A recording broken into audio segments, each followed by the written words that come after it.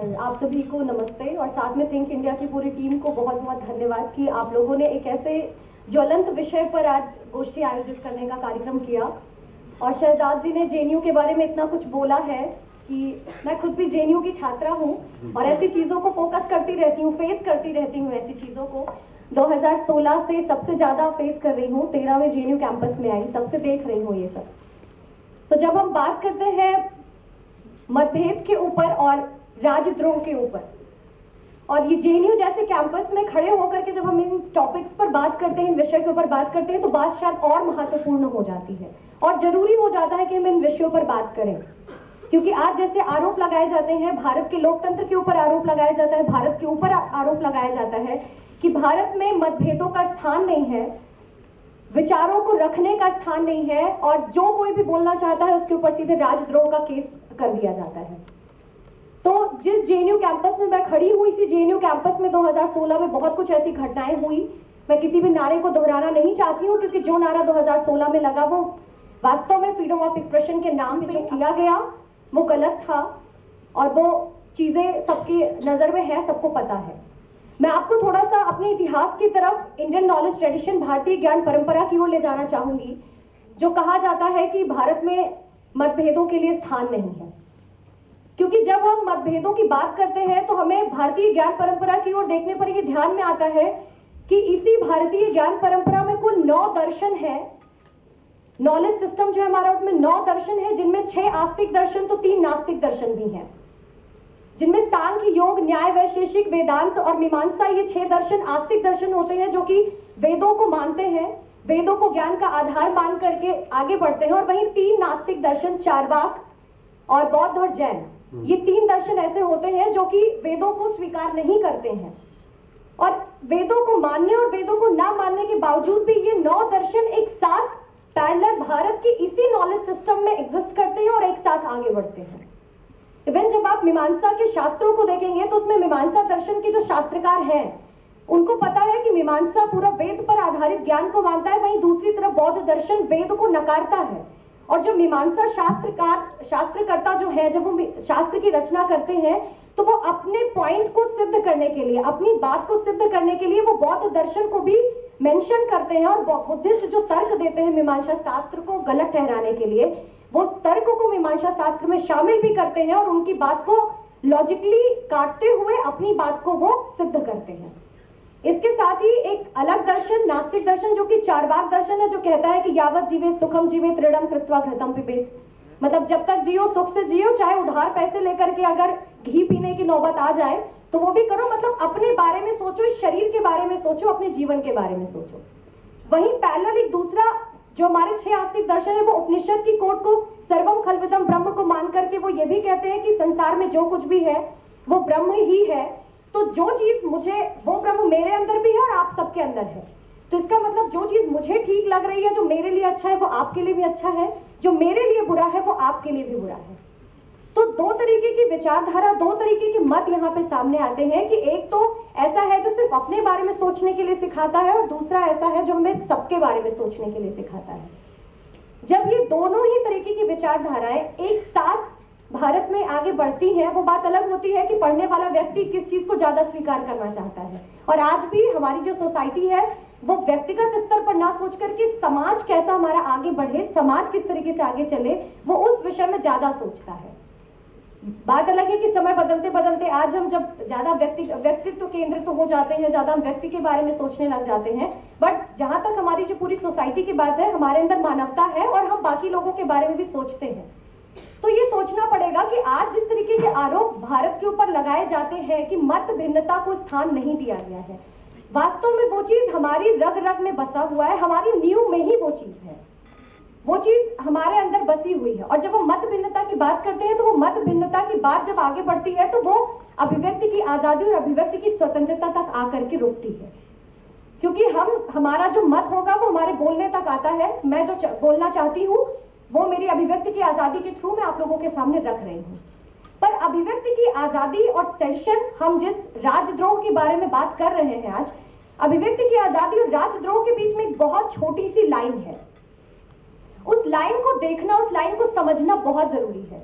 क्योंकि जब इस जेएनयू कैंपस में 9 फरवरी को 9 फरवरी 2016 को अभिव्यक्ति की आज़ादी के नाम पर देश को तोड़ने की कस्में खाई गई जब इस जेएनयू कैंपस में अभिव्यक्ति की आज़ादी के नाम पर ही अपने देश के लोकतंत्र के मंदिर पर अटैक करने वाले आतंकवादियों की बरसी मनाई गई और कहा गया कि कितने अफजल मारोगे, घर घर से अफजल निकलेगा। और बोला गया कि हम बंदूक के दम पर लेंगे आज़ादी, हम छीन के लेंगे आज़ादी। और कुछ और भी ऐसे ऐसे स्लोगन्स लगे जिनमें अपने देश के, अपने देश की तो जयकार किसी ने नहीं की, बस दूसरे देश, जो पड़ोसी देश है, उनकी जयकार ज़रूर की।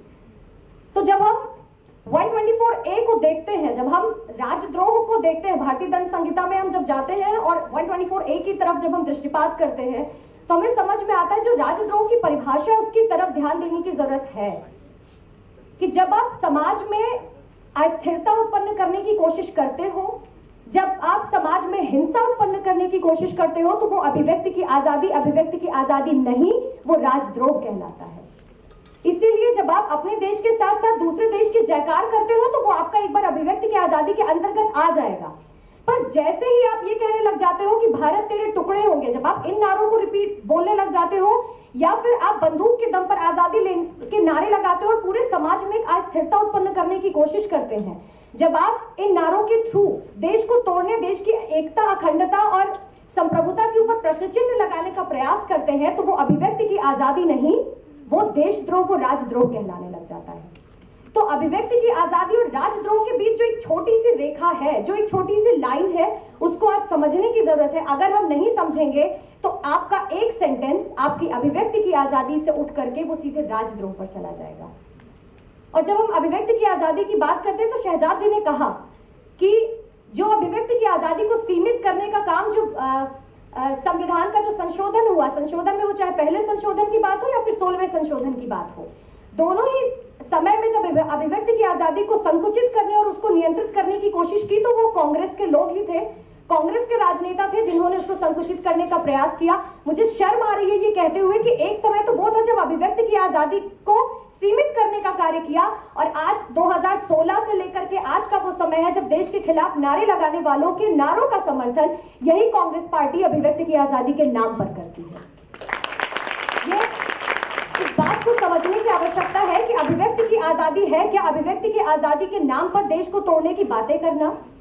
ये कतई बर्दाश्त नहीं किया जाएगा। मैं मानती हूँ कि इसी जेएनयू कैंपस से ऐसी आवाज़ें उठी जो कि राजद्रोह में आती है, पर इसी जेएनयू कैंपस से हम जैसे लोगों ने, मेरे जैसे बहुत सारे एबीवीपी के और राष्ट्रवादी विचारधारा के लोग हैं जिन्होंने खड़े होकर के उन नारों के खिलाफ अपनी आवाज़ को बुलंद किया और जिसका परिणाम ये हुआ कि पूरे भारत में देशभक्ति क्या है नेशनलिज्म क्या है, इसकी एक डिबेट छिड़ पाई। और आज लोगों के अंदर देशभक्ति के बारे में का एक ज्वलंत मुद्दा है और लोग जानना चाहते हैं कि हमारा नेशनलिज्म किस तरीके का नेशनलिज्म है।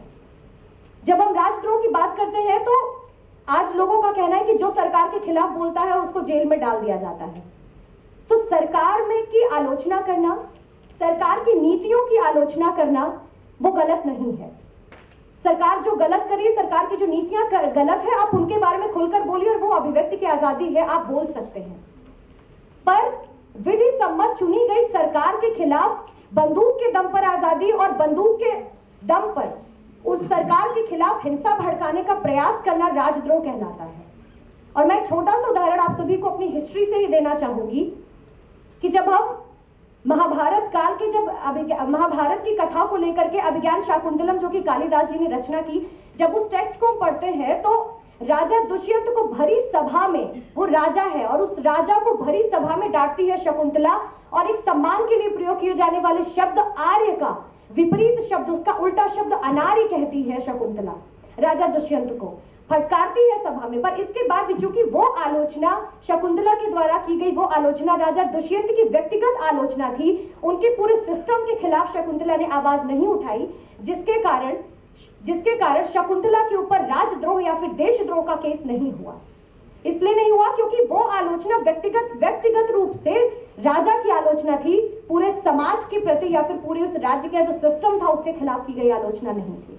इसी प्रकार से यदि हम त्रेता युग की तरफ़ जाएँगे तो राजा रामचंद्र जी के शासन काल में अयोध्या नगरी में एक सामान्य से नागरिक, एक धोबी के, धोबी ने जो आलोचना की, वो रामचंद्र जी की आलोचना की, जिसमें उसने कहा कि मैं राम नहीं हूँ कि मेरी पत्नी कहीं बाहर रह करके आएगी और मैं उसको अपने घर में रख दूँगा।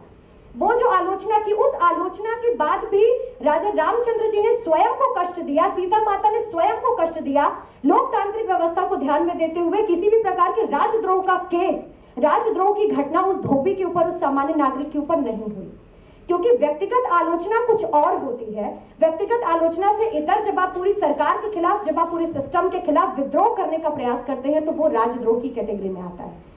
इसी प्रकार से आज हम जिस विषय पर बात कर रहे हैं, अभिव्यक्ति की आज़ादी, मतभेद, यानी कि मतभेद को हम अभिव्यक्ति की आज़ादी से ही जोड़कर देख सकते हैं। अभिव्यक्ति की आज़ादी और वर्सेस राजद्रोह। इसके बीच में एक जो छोटा सा गैप है, एक जो छोटी सी लाइन है, उसको समझने की आवश्यकता है। और एक बार फिर से मैं थिंक थिंक इंडिया को बहुत बहुत धन्यवाद करती हूँ कि आप लोगों ने इस विषय पर, एक ज्वलंत विषय पर टॉक करने के लिए, चर्चा करने के लिए हम सभी को बुलाया। इसी के साथ मैं अपनी बात को समाप्त करती हूँ। बहुत बहुत धन्यवाद।